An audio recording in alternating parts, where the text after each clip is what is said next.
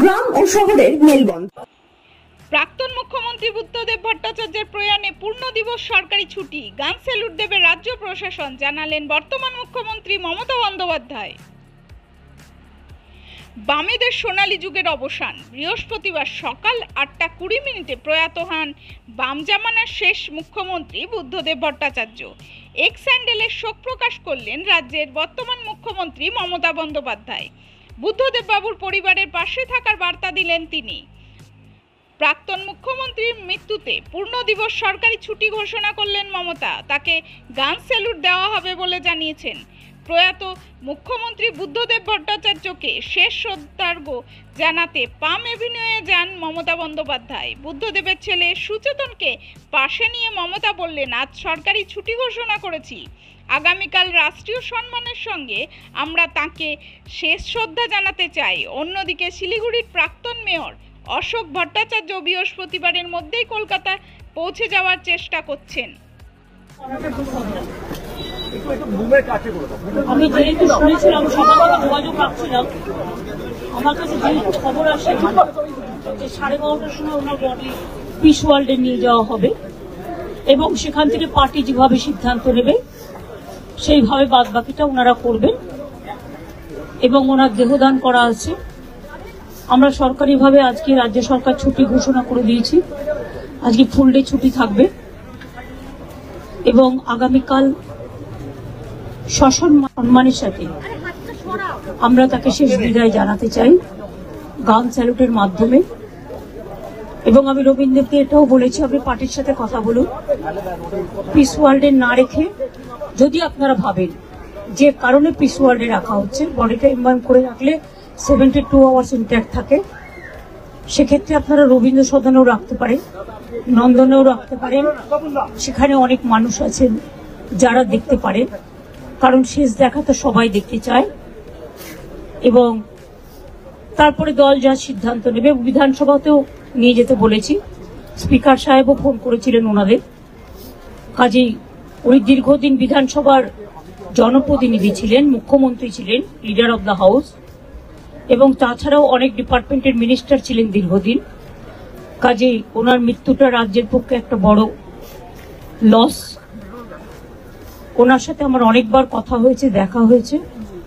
উনি যতবার হসপিটালে ভর্তি হয়েছেন, আমরা দেখতে গেছি এবং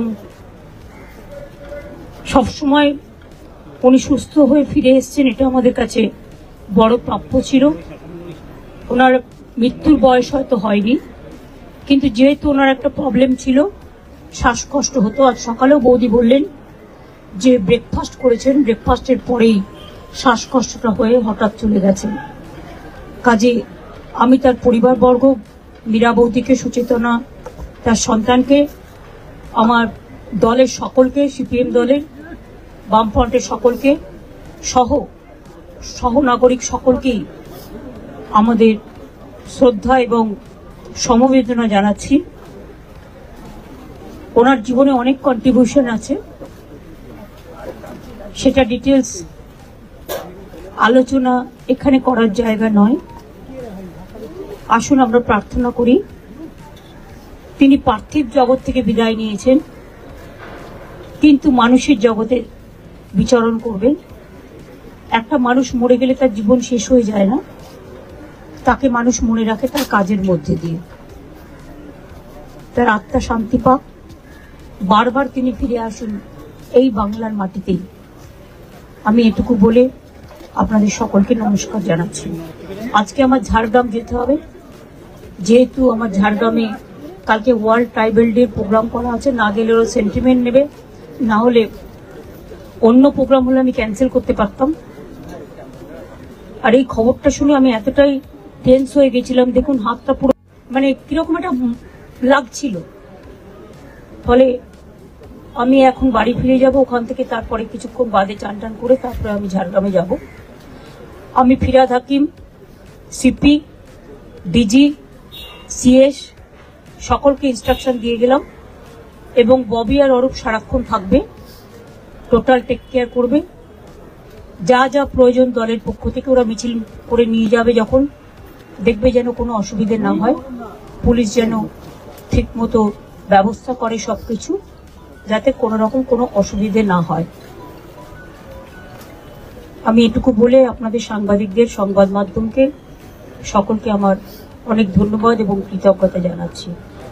ব্যক্তিগত অনেক কথা আছে, কিন্তু সেটা আজকে বলার দিন নয়। কখনো সময় পেলে নিশ্চয়ই বলব। আজকের দিনটা এই সময় তাদের পরিবারের পাশে দাঁড়ানোর দিন এবং দল হারিয়েছে তাদের নেতাকে। আমি অন্য দল করলেও তাদের দলের সাথেও আমার সম্পূর্ণ সমবেদনা থাকবে।